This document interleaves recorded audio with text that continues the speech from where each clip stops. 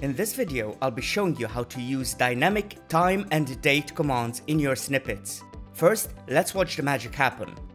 All of the dates you see here are dynamic. If I use this snippet tomorrow, the dates will be different. You can find a copy of this snippet inside the folder called My Sample Snippets in your Text Blaze dashboard.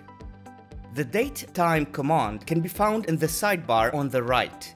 You can also use the search field to find it. Clicking on the command opens a pop-up with a number of common formatting options. I can click on the command and change it to fit my needs. There's a lot more you can do with this command. Check out the dedicated guide for a comprehensive walkthrough as well as dynamic examples that you can copy directly to your Text Blaze dashboard.